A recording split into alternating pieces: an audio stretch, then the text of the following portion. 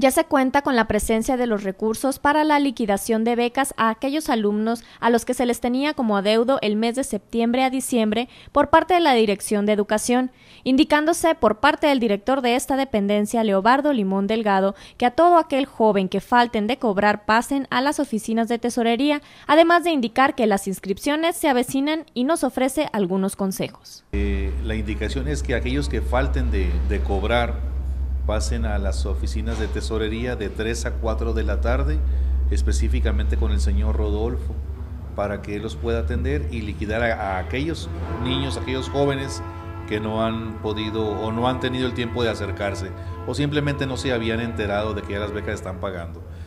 Y acá director con su supervisor se tiene que haber reunido, es lo más seguro, para planear esta actividad. Entonces, eh, acérquense a la escuela más cercana, acérquense a la escuela de su conveniencia para que vayan investigando con los directivos de cada institución cuáles son los procesos que van a seguir, los días y los horarios para ese tipo de actividad. No se esperen, muy importante, no se esperen a la última semana de, inscripción, ¿eh? porque hay, hay escuelas en que se llena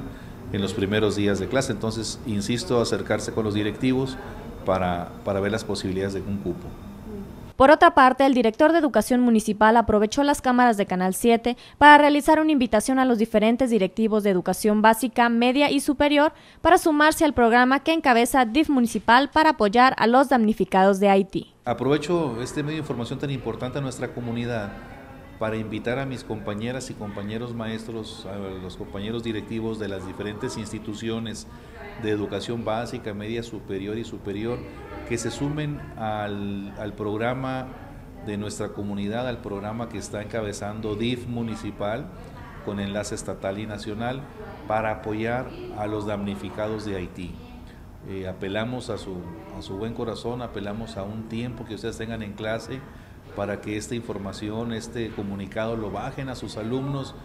que a través de ellos les solicitamos cualquier tipo de ayuda en alimento enlatado, en agua, cualquier tipo de víveres que pueda ser en conserva,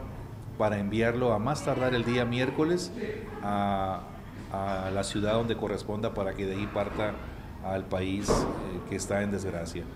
Ahí mismo en su escuela lo resguardarán en su institución escolar y compañeros de DIF municipal harán el recorrido y pasarán, en cuanto tengan la indicación del director de la escuela, a recibir esos alimentos, que mucha falta, insisto, están haciendo estas personas que están en desgracia.